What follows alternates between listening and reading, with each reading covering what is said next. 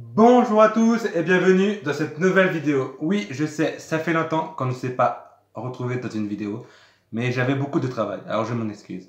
Alors, dans la vidéo du jour, on se retrouve pour tous ceux qui sont étudiants ou ceux qui ont une vie professionnelle et qui n'ont pas le temps de manger le midi et qui malheureusement vont manger dans des boulangeries ou des pâtes à pain, céréales ou des burgers et que ça leur coûte 8 euros tous les jours par exemple. Euh, je vais vous montrer un repas pour 1 euro ou moins d'un euro par jour.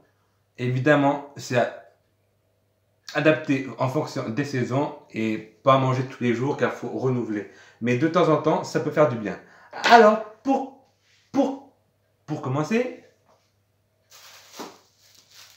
le pain, 60 centimes.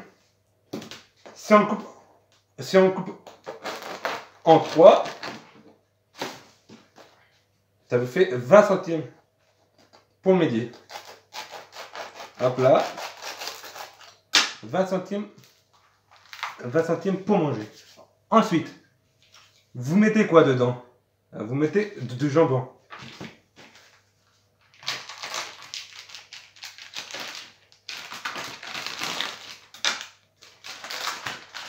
Vous mettez une tranche de jambon, par exemple. Même si vous voulez vous en mettre deux, ça vous ruinera pas et ça restera en dessous de 1 euro. Comme vous voyez, vous avez le menu. Ensuite, vous pouvez mettre des cornichons, ça ne vous coûte pas grand chose. Ensuite, vous achetez une bouteille au supermarché, par exemple une bouteille comme ceci. Elle vous fait à peu près 20 centimes pièce. Si vous en achetez une, 20 centimes la première fois, mais après vous la réutilisez avec l'eau du robinet, ça vous coûtera 2 centimes à peu près par bouteille après réutilisation.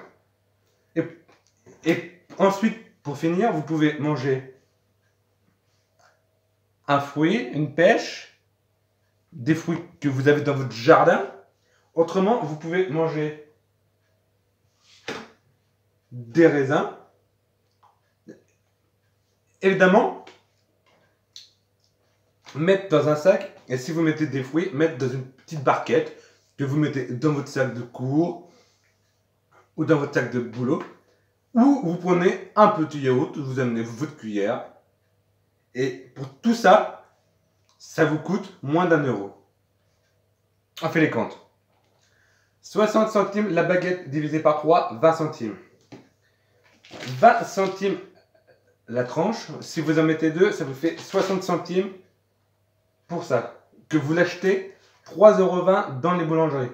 Alors vous voyez l'économie. est fait maison, donc meilleur. Ensuite, on va dire 10 centimes pour la bouteille d'eau. Parce que vu qu'il faut l'acheter et après vous renouvelez l'eau, vous prenez du robinet. Alors, 10 centimes. Cela fait à 70 centimes. Et après, vous prenez les fruits, fruits ou yaourt de votre jardin. Ça vous fait 30 centimes à peu près.